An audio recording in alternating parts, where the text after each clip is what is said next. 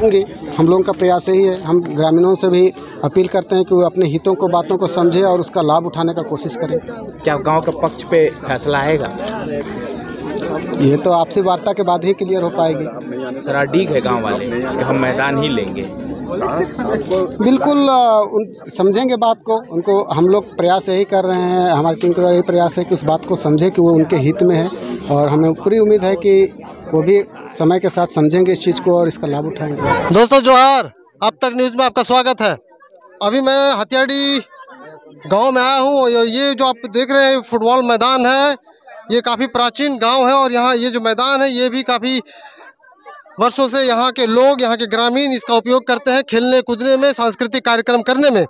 और आज जो आप देख रहे हैं, यहाँ काफ़ी भीड़ लगी हुई है। कुछ ऑफिसर्स आए हुए हैं आइडा के तरफ़ से इस मैदान में एक जमुना ऑटो इंडस्ट्रीज़ खोलने के लिए। ये मैदान को कैप्च मतलब कब्जा करने हेतु आए हैं और इन ग्रामीणों के द्वारा इसका विरोध किया जा रहा है और भारी मात्रा में इनको ये विरोध कर रहे हैं।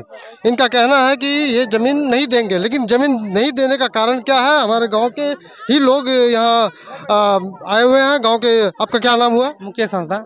मुकेश हंसदा जी आप जो ये आइडा का विरोध कर रहे हैं यहाँ क्या कारण क्या है? पूरी कहानी बताएँ। इससे पहले हम लोग का दो ठो मैदान था। दो ठो का मैदान के बदले बोले थे कि एक ठो आप लोगों को मैदान दिया जाएगा। गाँव में एक ही ठो मैदान होना चाहिए। उसी के वजह से वहाँ पानी टंकी खोल दिया। पानी टंकी बोले कि आप लोगों को पानी दिया जाएगा। पानी दिया जाएगा अभी 2016 में वहाँ पानी टंकी बन गया। 2016 अभी 23 तक पहुँच गया। अभी तक पानी टंकी का पानी अभी तक मिला नहीं। पानी टंकी बना के नहीं? टंकी बन गया। मतलब जगह घेर लिया आइडा लेकिन अब तक आप लोग को सात साल हो गया, पानी नहीं मिला। नहीं मिला नहीं मिला। पानी भी नहीं मिला, कुछ भी नहीं मिला।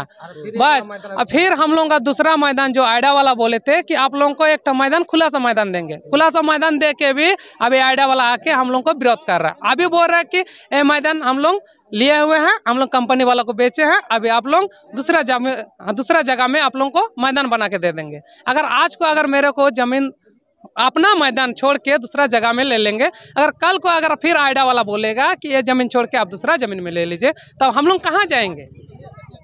उसी की वजह से हम लोग का कहना है कि हम लोग मैदान नहीं छोड़ेंगे। तो अच्छा मान लीजिए अभी आइडा वाला जो बोल रहा है ये आइडा का ज़मीन है। तो आप लोग ये कब से यूज़ कर रहे हैं ये मैदान का? और ये आइडा जब ज़मीन ले चुका है तो आप लोग कैसे विरोध कर सकते हैं? हम लोग आयडा आने से पहले हम लोग मैदान बनाए हुए हैं।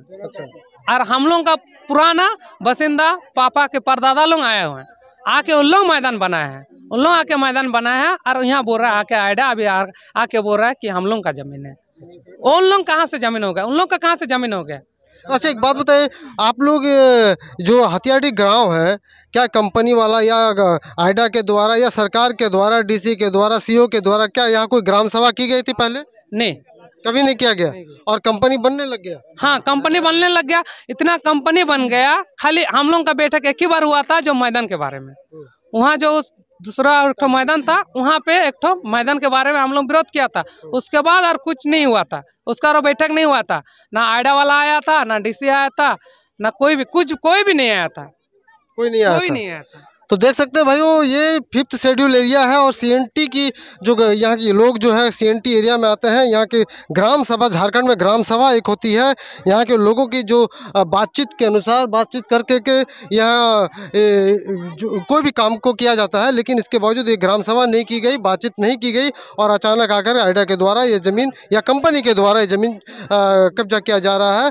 तो गाँव वाले लोगों का, जैसे आप लोग विरोध कर रहे हैं कंपनी का तो कंपनी अगर बनती है तो आप लोगों को नौकरी मिलेगा, रोज़गार मिलेगा तो आप लोगों को अच्छा बात है ना? नौकरी का तो दूर का बात, सर जी। एक तो एक तो भी इतना सारा कंपनी बन गया, एक तो भी अभी तक नौकरी नहीं मिला। किसी को भी नहीं मिला अभी तक। अभी तो एक तो भी नहीं तो तो ये मैदान जब तक जब तक नहीं लेगा तब तक उतना देर तक बात करते रहेगा कि हम ज़मीन के जगह आप लोगों को कंपनी देंगे कंपनी वाला बनाएगा उसके बाद आप लोगों को नौकरी देंगे। अभी जैसे कि बात बोले कि मतलब जितना इंटर पास वाले हैं उन लोगों को देंगे। अगर यहाँ इंटर पास नहीं है तो काम नहीं दीजिएगा।